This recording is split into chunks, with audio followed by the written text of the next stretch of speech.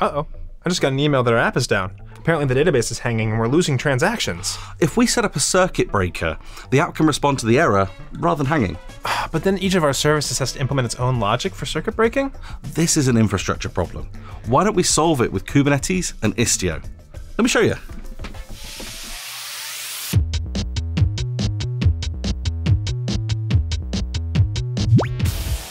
So here's my website. As you can see, it's a one stop shop for everything you need to buy in order to be the best hipster that you can be.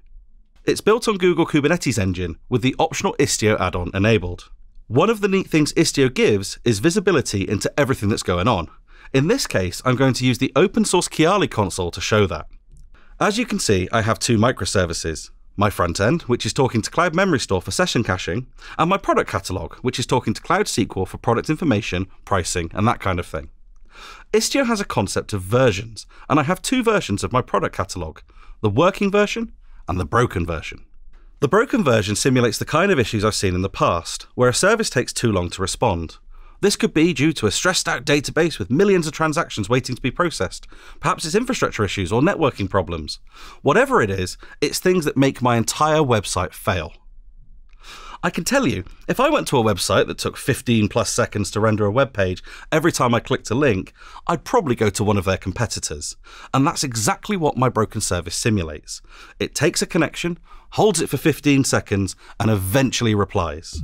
So even if a service is down, we can have our application handle the error rather than just hanging. Right, with Istio, you can enforce a blackout rather than a brownout when the service is misbehaving.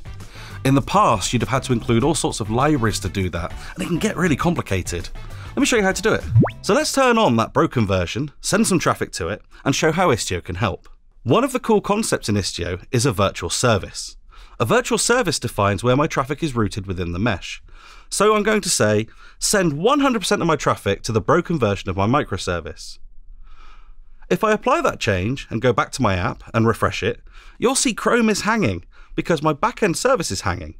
At this point, you've lost me as a customer. But worse, if this was a payment service, you may have even lost a sales record. I've seen all this and worse in the past due to these kind of bugs. So, what can we do to mitigate it? In the past, we might have used circuit breaker libraries. The problem with this approach is that they're very language specific. So, if one app is written in Java and another in Go, they'll have different libraries, and sharing state between them is difficult. Istio gives me a way to solve this with circuit breaker patterns. There are two cool things at play here. The first is my destination rule. The destination rule defines not only the versions of my application, but also characteristics on how they receive traffic. In this case, I'm saying allow a maximum of 200 pending requests, but I could also put things like TCP session information and all kinds of settings for my mesh to understand what this app can deal with and what its tolerances are. In this case, I can never have more than 200 pending requests. The 201st request will simply see my app is down. A blackout, not a brownout. The second thing I can do is modify my virtual service to change the maximum amount of time a request can wait for my app to reply. By default, this could be virtually infinite, but for some apps that's not appropriate. In the case of my catalog service, I never want to wait for more than one second.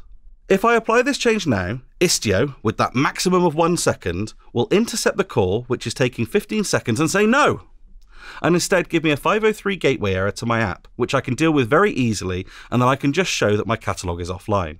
The cool thing about this is I've not changed a single line of code. And the very neat thing is in my console, I have visibility of these broken requests. I can see my services down without waiting for my users to go to a competitor. Great, so now our application is able to properly handle the errors. Right, and you only need to change a little bit of config. Didn't have to touch any of your code. Don't forget to subscribe for more great Google Cloud Platform content.